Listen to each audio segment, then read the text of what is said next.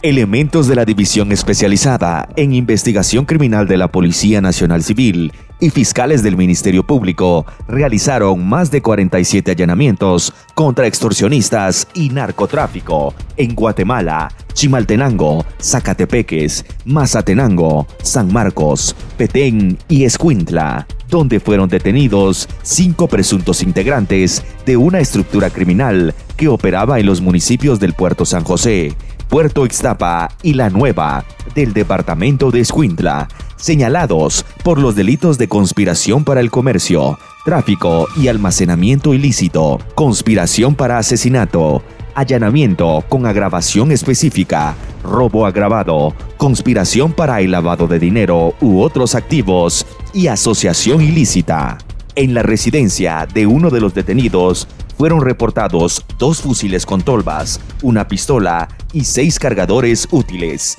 Asimismo, se reporta la detención de 14 presuntos extorsionistas de la clica Raza Chapina de la Mara 18. Según las autoridades, la investigación duró un año, logrando establecer que estas personas obtuvieron 118 mil quetzales, producto de la extorsión a empresas de transporte público que se conducen de la ciudad capital hacia el occidente.